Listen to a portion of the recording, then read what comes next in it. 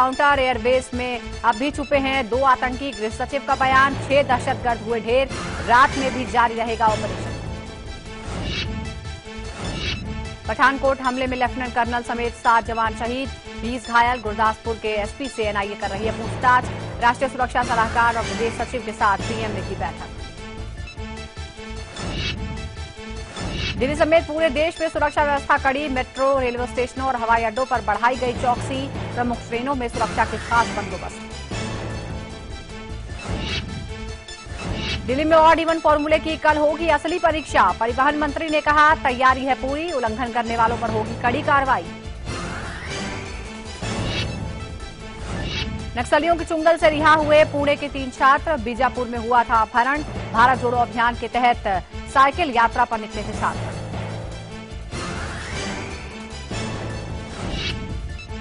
भोपाल में ओला कैब में महिला से रेप, आरोपी को पुलिस ने किया गिरफ़्तार, महिला का परिचित था ड्राइवर।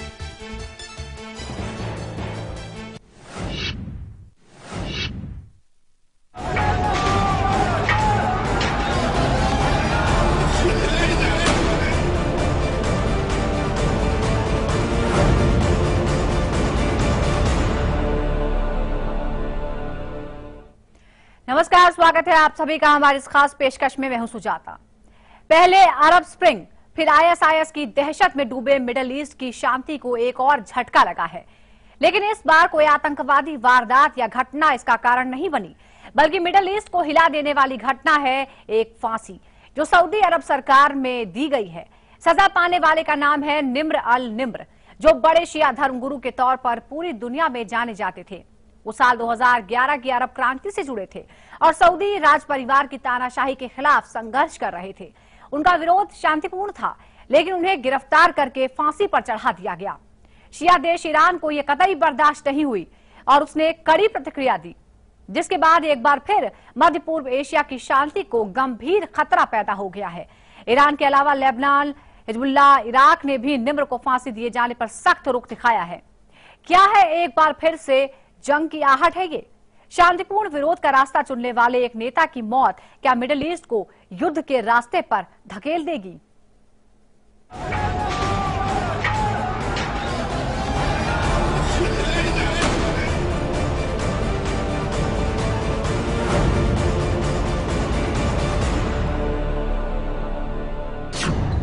मिडिल ईस्ट में बढ़ा फसाद।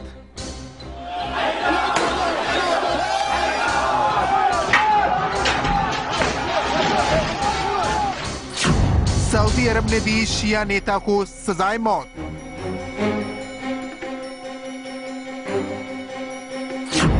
सम्मानित शिया मौलवी को दी गई फांसी।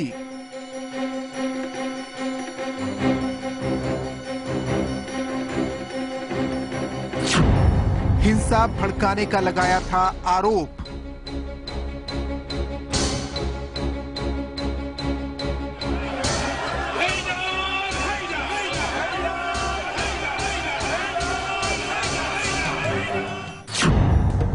मौलाना निम्र अल निम्र को मिली सजा।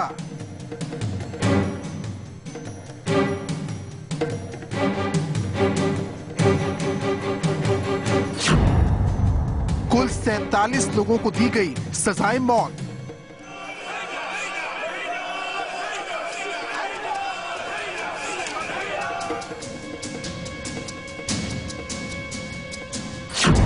भीड़ ने फूक दिया सऊदी दूतावास।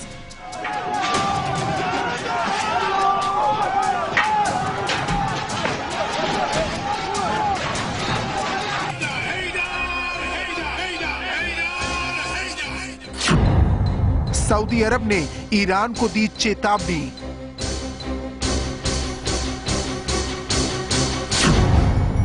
दोनों देशों के बीच शुरू से ही है प्रतिद्वंदिता।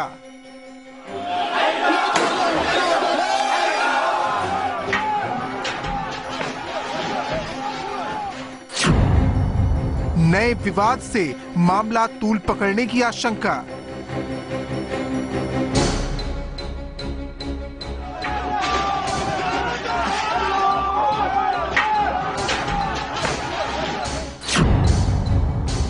बढ़ सकता है शिया सुन्नी का झगड़ा।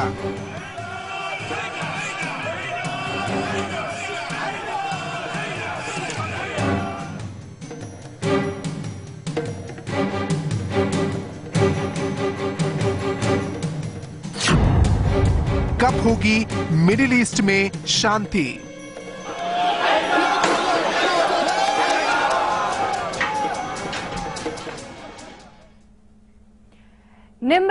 निम्र को सऊदी अरब में फांसी दिए जाने से ईरान की जनता इतनी बौखला गई कि उसने सऊदी अरब का दूतावास ही फूक दिया। इसके जवाब में सऊदी अरब ने ईरान पर मानवाधिकार उल्लंघन के गंभीर आरोप लगाए हैं, लेकिन दोनों का दामन उतना ही दागदार दिखता है। लेकिन निम्र को फांसी देने वाले सऊदी अरब का गुनाह अभी ताज़ा है, इसलिए ईरान के आरोप पूरी दुनिया में जायज़ ठहराए जा रहे हैं। फिर दहका मिडल ईस्ट।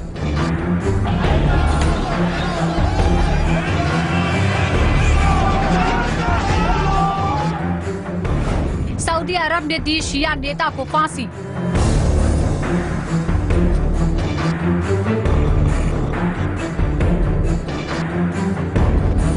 नाराज़ शिया भीड़ ने सऊदी दूतावास फूका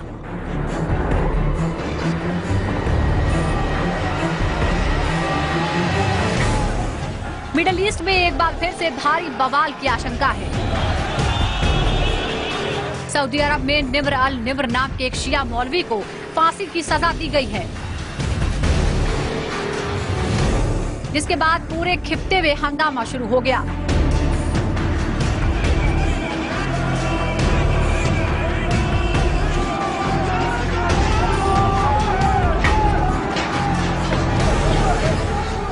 निम्र अल निम्र पर आरोप है कि उन्होंने साल 2011 की अरब क्रांति के दौरान प्रमुख भूमिका निभाई थी। जिसके बाद 2012 में उन्हें गिरफ़्तार किया गया था। अपनी गिरफ्तारी से पहले अल निम्र ने लोगों से कहा था।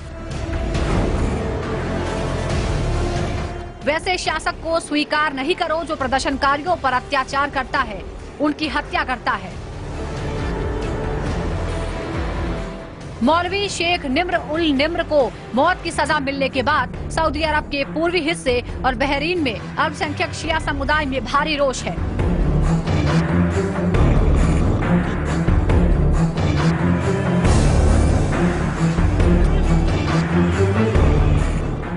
शिया बहुल ईरान में प्रभावशाली शिया धर्मगुरु अताउल्ला अहमद खातमी ने बयान दिया है। ये एक ऐसा अपराध है जिससे सऊदी अरब के शाही परिवार का खात्मा हो जाएगा।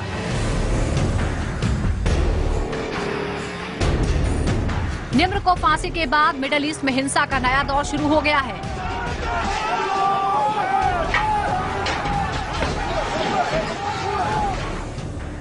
ईरान में लोग अल निम्र की हत्या से इतने नाराज़ हैं कि नाराज़ शिया प्रदर्शनकारियों की भीड़ मशाद में स्थित सऊदी अरब के दूतावास में घुस गई। नाराज़ भीड़ ने यहाँ जमकर तोड़फोड़ मचाई और बाद में उसमें आग लगा दी।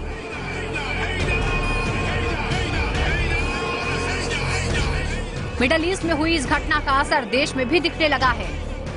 भारत के शिया नेता मौलवी निम्र को फांसी दिए जाने का विरोध कर रहे हैं। जो सऊदी अरब में फांसी दी गई है आयतुल्ला नम्र को आयतुल्ला बाकुर नम्र जो हैं, वो बहुत ही बड़े लेवल के उलमा में हैं शिया हजरात के।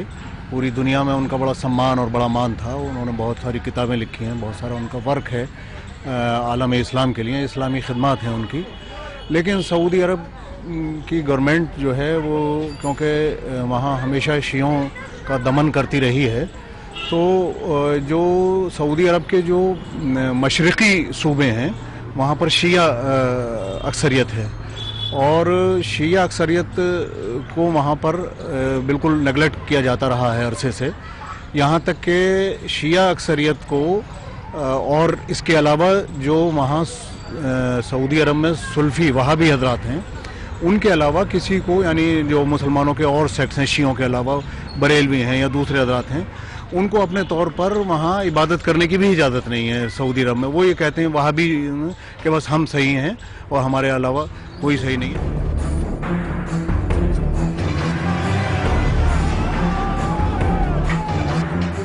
इधर भारत के सुन्नी नेता निम्र की फांसी पर कुछ भी बोलने से बच रहे हैं। लेकिन मध्य पूर्व में जारी इस नए घटनाक्रम पर चिंता ज़रूर ज़ाहिर कर रहे हैं। वो आईएस आईएस जैसे कि हमें जो ग्रुप हैं वो उठाने की कोशिश करेंगे। इसलिए ईरान और सऊदी अरब दोनों को इस सिलसिले में संयम से काम लेना चाहिए और इस बात की कोशिश करनी चाहिए कि बातचीत से मसलों को कैसे हल किया जा सकता है।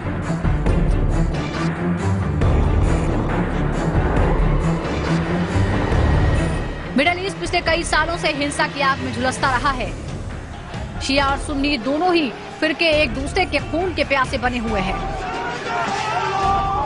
उस पर से सऊदी अरब सरकार का यह नया कदम दोनों ही समुदाय के बीच एक ऐसी खूनी लकीर खींच देगा, जिसकी भरपाई मुश्किल हो जाएगी।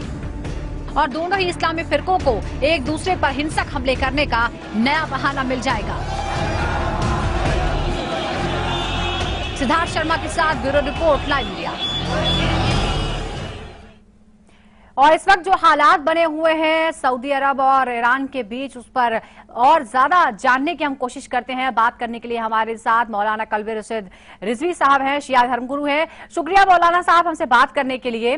मौलाना रिजवी इस वक्त आ, जिस तरह से शिया धर्मगुरु आल निम्र को फांसी की सजा दी जाती है सबसे पहले तो इस घटना पर आपका रिएक्शन किस तरह का है? क्योंकि ईरान में इस, इसका बहुत ही खतरनाक रिएक्शन देखने को मिला है।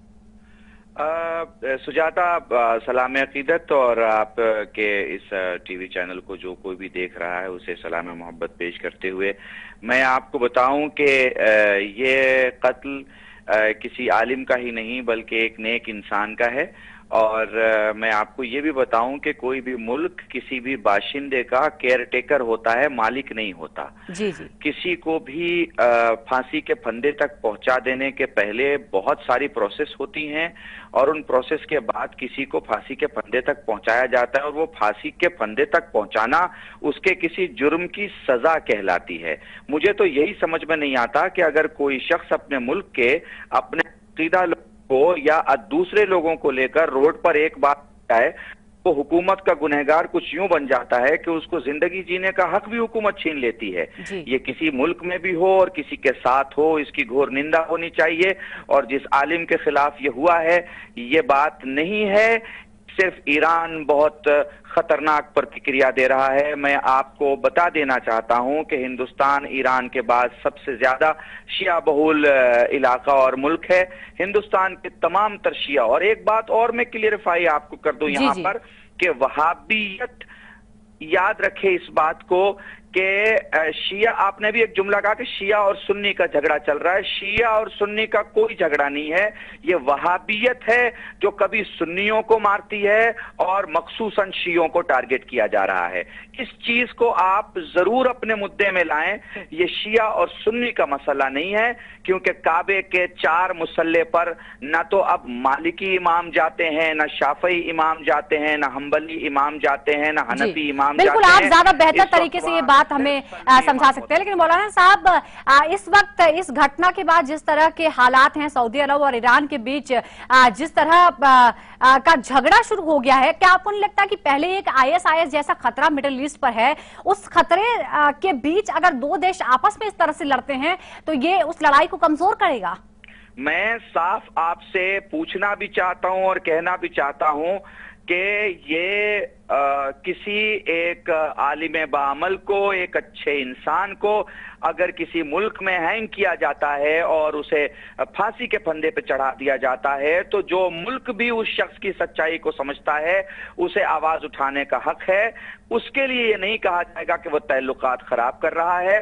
सऊदिया की रोकथाम करनी चाहिए क्योंकि ये समझ में नहीं आता हम्म। हाजी 500 मर जाएँ या 5000 मर जाएँ कोई उनको कहने वाला नहीं। कुछ मसला दुनिया में पेश आ जाए कोई उनको कुछ कहने वाला नहीं। दुनिया में जितने तसादुम जितनी हलाकतें जितनी बॉम्बारिंग जितनी आतंकवादी घटनाएँ हो रही हैं सब के सब कहीं ना कहीं लिंक है सऊदिया से मगर कोई उनको कुछ कहने वाला नहीं। आज एक आलिम को उसी मुल्क में मार दिया जाता है कोई कुछ कहने वाला नहीं। मुझे ऐसा लगता है दुनिया की तमाम तर मुल्कों को इस बात पर सोचना चाहिए। जी जी आपकी नाराज़गी हम समझ पा रहे हैं और आपसे इस पूरे मुद्दे पर हम और ज़्यादा डिटेल में इस पूरे मामले को समझने की कोशिश करेंगे क्योंकि बहुत से ऐसे लोग हैं। शायद जो इस फसाद की जड़ को समझ ही ना पाए कि आखिर समस्या है कहाँ। मौलाना साहब, आपसे हम और बात करेंगे। यहाँ एक छोटे से ब्रेक के लिए हम रुक रहे हैं। ब्रेक के बाद हम अपने दर्शकों को बताएँगे कैसे निम्र अल निम्र को फांसी से सऊदी अरब, ईरान कैसे एक दूसरे के खून के प्यासे हो गए हैं।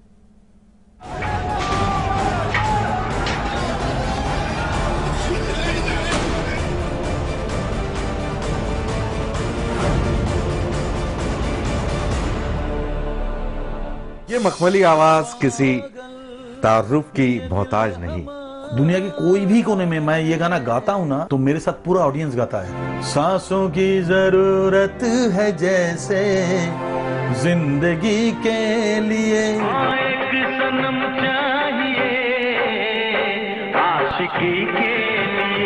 कुमार सानू इफ़ेक्ट है ये। सनम हम तो सिर्फ़ तुमसे प्यार करते हैं।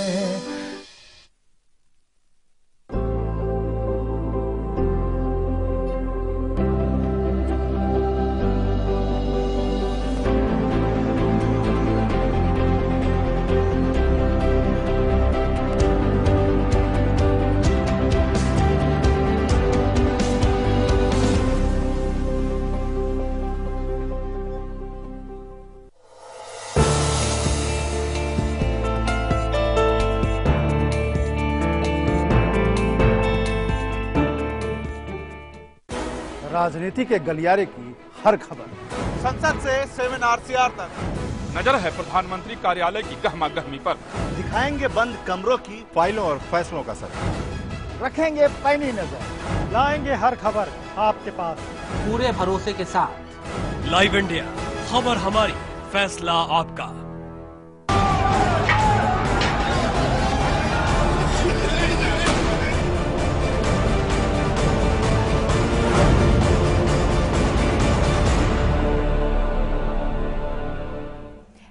सऊदी अरब में शिया धर्म गुरु की फांसी के बाद ईरान और सऊदी अरब में ठन गई है। पुराने दुश्मन सऊदी अरब और ईरान एक बार फिर आमने सामने खड़े हो गए हैं। फ़िलहाल बयानों का दौर जारी है, लेकिन किसी हिंसक प्रतिक्रिया की आशंका दोनों तरफ़ से लगातार बनी है। किसी तरफ़ से भी संयम टूटा तो पूरा मिडल ईस्ट युद्ध की आग में झुलसने लगेगा।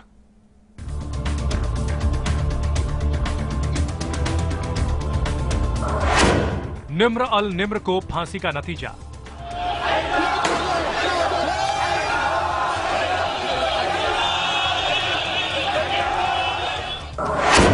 आमने सामने आए सऊदी अरब और ईरान।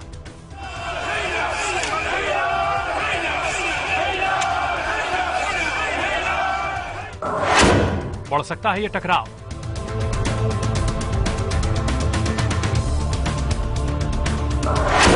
मिडल ईस्ट में भारी अशांति की आशंका।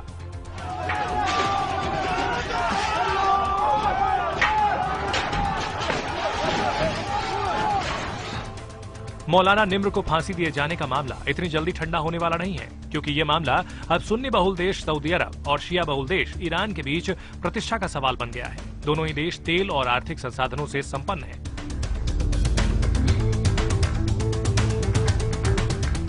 और इनके बीच की प्रतिद्वंदता भी बेहद पुरानी है। यही वजह है कि सऊदी अरब में शिया नेता निम्र अल निम्र को मौत की सजा दिए जाने पर ईरान ने कड़ी प्रतिक्रिया जताई है।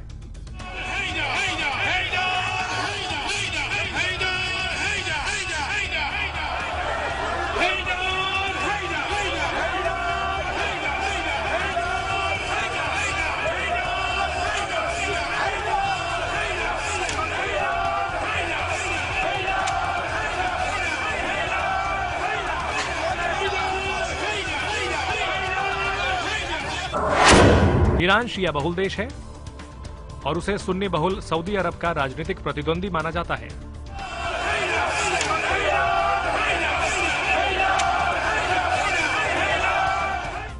निम्र अल निम्र सऊदी नागरिक ही थे जो सऊदी अरब में रहकर वहाँ की राजतंत्र के तानाशाही रवैये के खिलाफ आंदोलन चलाते थे।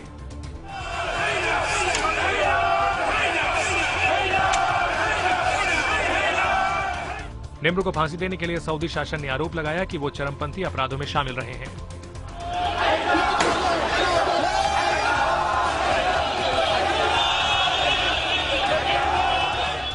निम्र के साथ साथ सैंतालीस दूसरे लोगों को भी फांसी की सजा दी गई है।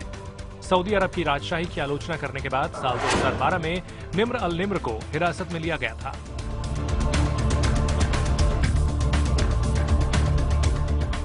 बाद में उन्हें फांसी दे दी गई इस मामले पर ईरान में हिंसा भड़की और वहां सऊदी दूतावास को फूंक दिया गया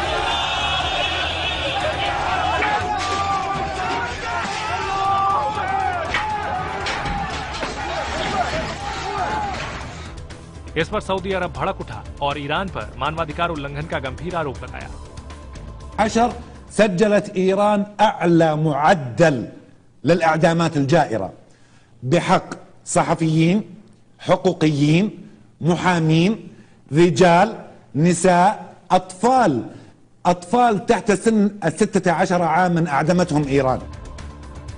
हालांकि निम्र अल निम्र के समर्थकों का कहना है कि उन्होंने कभी भी हिंसा की वकालत नहीं की सऊदी राज परिवार के खिलाफ शांतिपूर्ण प्रदर्शनों के लिए उनका कत्ल किया गया है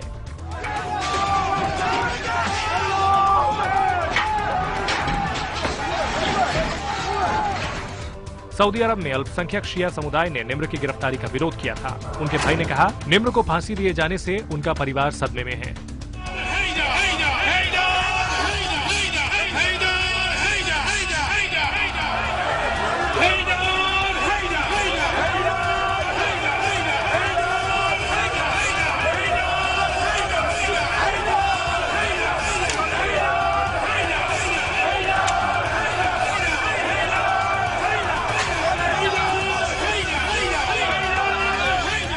शेख अल निम्र, एक प्रमुख और प्रखर शिया धर्मगुरु थे, जो सऊदी अरब की भेदभाव और अलगाव महसूस करने वाली शिया अल्पसंख्यक समुदाय की भावनाओं का प्रतिनिधित्व करते थे।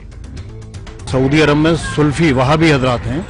उनके अलावा किसी को, यानी जो मुसलमानों के और सेक्ट्स हैं, शियों के अलावा बरेलवी हैं या दूसरे हजरात हैं, उनको अपने तौर पर वहाँ इबादत करने की भी इजाज़त नहीं है सऊदी अरब में। वो ये कहते हैं वहाँ भी कि बस हम सही हैं और हमारे अलावा कोई सही नहीं है, जिस तरह से हम इबादत करते हैं। यहाँ तक कि हम रसूलुल्लाह सल्लल्लाहु अलैहि वसल्लम का रोज़ा है वहाँ पर सऊदी अरब में। हम उस पर खुल के फातिहा भी नहीं पढ़ सकते। वहाँ जो है वहाँ की पुलिस जो होती है वो तैनात रहती है वो कोड़े मार के वहाँ से हटा देती है। अ, जन्नतुल बकी जहाँ पे मोहम्मद साहब की बेटी का मज़ार है या और लोगों का वहाँ पर भी वो यही इस तरह से वहाँ फातिहा भी नहीं पढ़ सकते दूसरे मुसलमान। वहाँ भी इसके ख़िलाफ़ हैं। तो ये जो दमन की पॉलिसी वहाँ सऊदी अरब में बहुत अरसे से रही है, इसके खिलाफ आयतुल्ला नवर ने तहरीक चलाई थी 2011 में जब ये तमाम अरब कंट्रीज़ के अंदर इनकलाब आया था।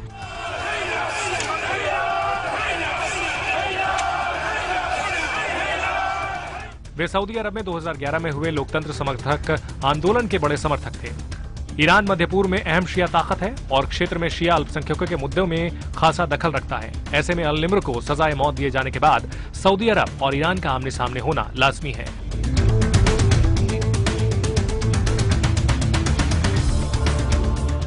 Bureau report, live India.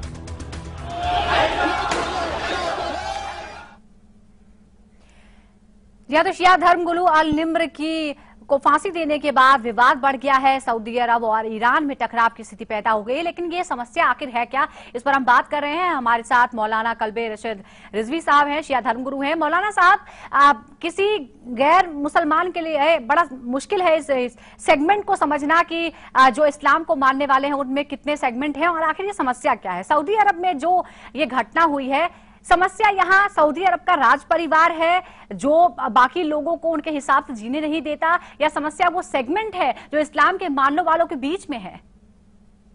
मैं आपसे एक बात साफ़ कर दूँ। अगर आप इस टेलीविज़न प्रोग्राम में किसी भी हमारे इज़्ज़त माब बरदरान सुन्नत को आप बुलाते चाहे वो किसी भी सेक्ट के होते और वो गैर वहाबी होते तो आप यकीन रखिए वो आगए निम्र की शहादत में या उनको जो फांसी दिया गया है उसमें वो खुल के बोलते कि ये जुल्म हुआ है। सिवाय उन लोगों के कि जिनके मदरसे सऊदिया के चंदों से चलते हैं। अ, मगर मैं साफ़ तौर पे ये कहना चाहता हूँ ये मसला शिया सुन्नी का नहीं है मैं फिर कह रहा हूँ ये वहाबियत है जब उसे मौका मिलता है तो वो अहले सुन्नत को मारती है और जब उसे मौका मिलता है तो वो शियाओं को मारती है। मगर चूँकि आगा निब्र का जो केस है वो ऐसा है कि 2011-12 में अरबई ने इमाम हुसैन यानी इमाम हुसैन के चालीसवें के वक्त जो सारे लोग रोड पर आए थे तो उस वक्त आ गए निम्र ने जो आ, सबसे बड़ी तहरीक चलाई थी वो चलाई थी कि कानून का निफाज हो डेमोक्रेसी की बहाली हो किंगडम का खात्मा हो और इसमें उनके साथ पूरी भीड़ थी। वो सिर्फ़ शियों की बात नहीं कर रहे थे बल्कि वो उस मुल्क के उन दबे कुचले लोगों की बात कर रहे थे जिनको आवाज़ उठाने का कोई हक नहीं है। क्योंकि ये सब जानते हैं कि सऊदिया में सिर्फ़ वहाँ भी बात कर सकता है उसके अलावा कोई बात नहीं कर सकता। मैं साफ़ तौर पर कह देना चाहता हूँ यह कदम उस मुल्क का बहुत ही कायराना कदम है। उसी शख्स को उसने मार दिया जो उसी के मुल्क में पैदा हुआ था उसी के मुल्क का रहने वाला था। बस सिर्फ़ इसलिए कि वो चाहता था कि डेमोक्रेसी की बहाली हो। जी जी। बहुत बहुत शुक्रिया आपका मौलाना साहब हमसे बात करने के लिए और इस पूरे घटनाक्रम को बेहतर तरीके से समझाने के लिए। आइए अपने दर्शकों को ये बताते हैं कि आखिर निम्र अल निम्र की फांसी के बाद क्या प्रतिक्रियाएँ आई हैं।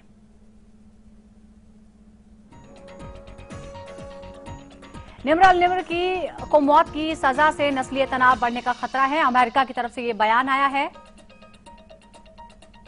सऊदी राज परिवार के खिलाफ शांतिपूर्ण प्रदर्शनों के लिए निम्र का कत्ल निम्र के समर्थक ने ये कहा है। सऊदी अरब को इस हरकत के लिए बड़ी कीमत चुकानी होगी। ईरान के विदेश मंत्रालय ने ये कहा है और इसीलिए यहाँ विवाद बढ़ता जा रहा है। निम्र को फांसी के अपराध से सऊदी राज परिवार का खात्मा हो जाएगा। आयतुल्ला अहमद खातमी है। ईरान के सर्वोच्च धर्मगुरु हैं ये निम्र को फांसी देने से सऊदी अरब के शिया बहुल इलाकों में अशांति होगी और संकट का नया अध्याय खुल जाएगा। अलाउद्दीन बुरूजर्दी अध्यक्ष हैं राष्ट्रीय सुरक्षा आयोग ईरान के। यह प्रतिक्रियाएँ हम आपको सुना रहे हैं, दिखा रहे हैं। निम्र को फांसी देना सऊदी अरब की बहुत बड़ी गलती है। शिया परिषद लेबनान की तरफ़ से यह प्रतिक्रिया है। निम्र को फांसी नहीं दी गई, उन्हें कत्ल किया गया है। हिजबुल्ला है लेबनान का शिया उग्रपंथी समूह। निम्र को सजाए मौत के खिलाफ हम विरोध प्रदर्शन करेंगे। मुक्तदाल सद्र हैं, शिया धर्मगुरु इराक। निम्र को सजाए मौत से उनका परिवार सदमे में है। निम्र के भाई ने ये कहा,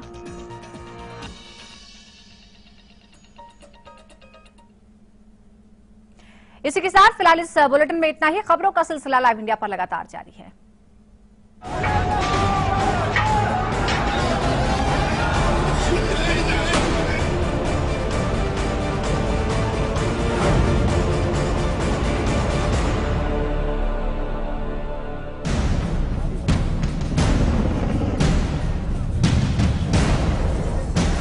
पठानकोट अटैक की इनसाइड स्टोरी देखिए रात 10 बजे।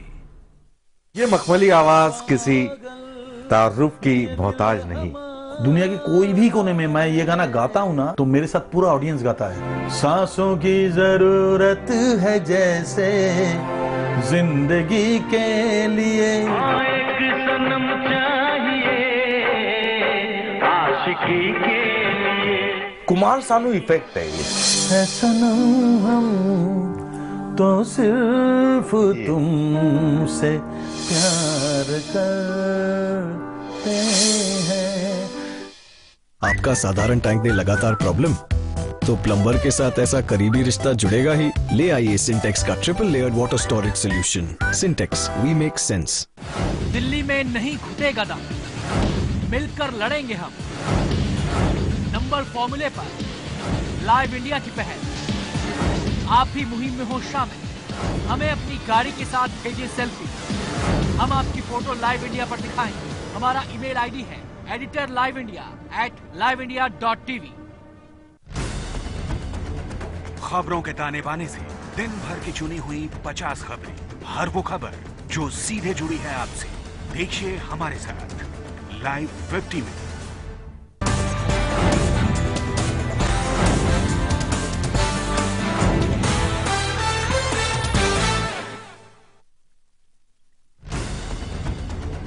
खबरों के ताने बाने से दिन भर की चुनी हुई 50 खबरें। हर वो खबर जो सीधे जुड़ी है आपसे। देखिए हमारे साथ लाइव 50 में।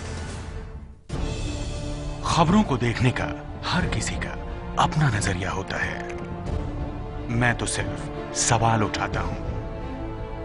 आपके सवाल, आपकी आवाज़ बनकर। लाइव इंडिया खबर हमारी, फैसला आपका।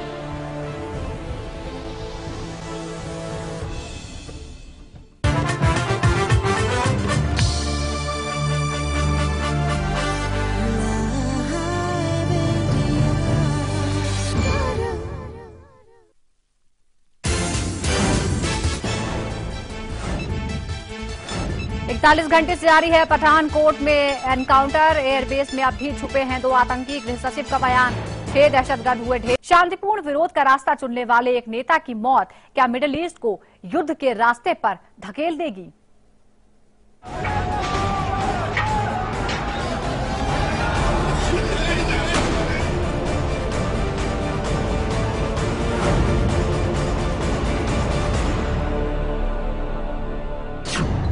मिडिल ईस्ट में बढ़ा फसाद।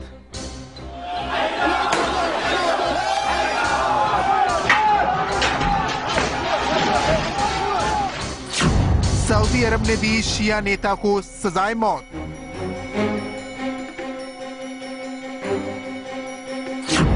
सम्मानित शिया मौलवी को दी गई फांसी।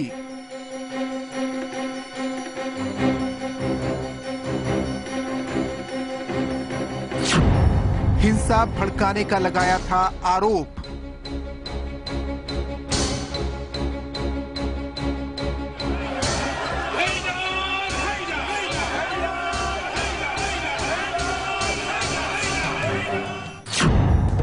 मौलाना निम्र अल निम्र को मिली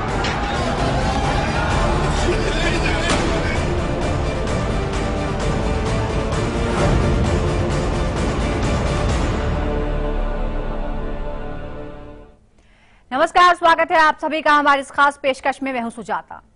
पहले अरब स्प्रिंग, फिर आईएसआईएस की दहशत में डूबे मिडल ईस्ट की शांति को एक और झटका लगा है।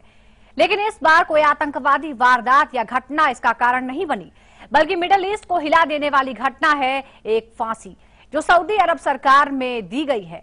सजा पाने वाले का नाम है निम्र अल निम्र, जो बड़े शिया धर्मगुरु के तौर पर पूरी दुनिया में जाने जाते थे। वो साल 2011 की अरब क्रांति से जुड़े थे और सऊदी राज परिवार की तानाशाही के खिलाफ संघर्ष कर रहे थे। उनका विरोध शांतिपूर्ण था, लेकिन उन्हें गिरफ़्तार करके फांसी पर चढ़ा दिया गया। शिया देश ईरान को यह कतई बर्दाश्त नहीं हुई और उसने कड़ी प्रतिक्रिया दी, जिसके बाद एक बार फिर मध्य पूर्व एशिया की शांति को गंभीर खतरा पैदा हो गया है। ईरान के अलावा लेबनान हिजबुल्ला इराक ने भी निम्र को फांसी दिए जाने पर सख्त रुख दिखाया है। क्या है एक बार फिर से जंग की आहट है ये।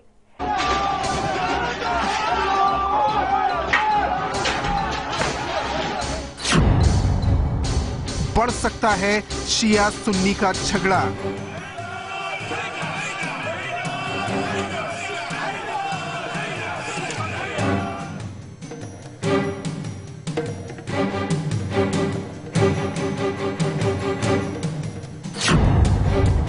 होगी मिडिल ईस्ट में शांति।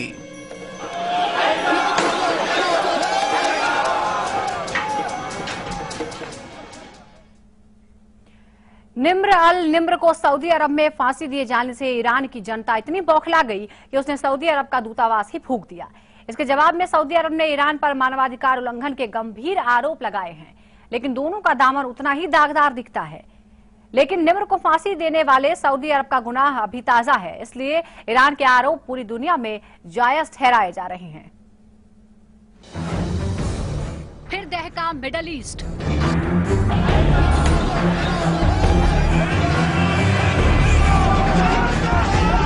काउंटर एयरबेस में अब भी छुपे हैं दो आतंकी गृह सचिव का बयान छह दहशतगर्द हुए ढेर रात में भी जारी रहेगा ऑपरेशन।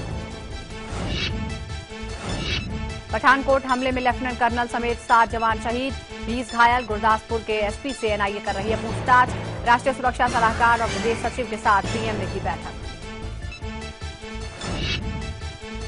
दिल्ली समेत पूरे देश में सुरक्षा व्यवस्था कड़ी। मेट्रो, रेलवे स्टेशनों और हवाई अड्डों पर बढ़ाई गई चौकसी। प्रमुख ट्रेनों में सुरक्षा के खास बंदोबस्त। दिल्ली में ऑड इवन फॉर्मूले की कल होगी असली परीक्षा। परिवहन मंत्री ने कहा, तैयारी है पूरी, उल्लंघन करने वालों पर होगी कड़ी कार्रवाई। नक्सलियों की चुंगल से रिहा हुए पुणे के तीन छात्र, बीजापुर में हुआ था अपहरण। भारत जोड़ो अभियान के तहत साइकिल यात्रा पर निकले थे छात्र।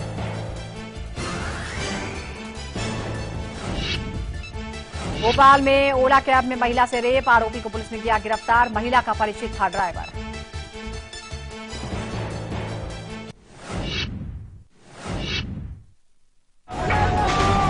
ली सजा।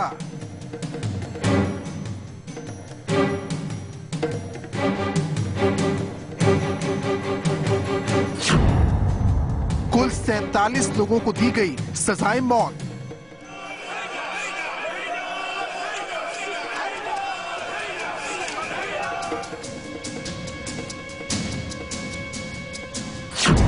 भीड़ ने फूक दिया सऊदी दूतावास।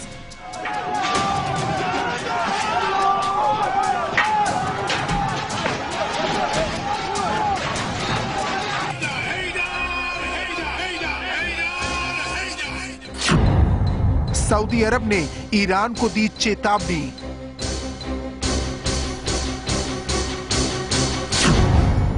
दोनों देशों के बीच शुरू से ही है प्रतिद्वंदिता।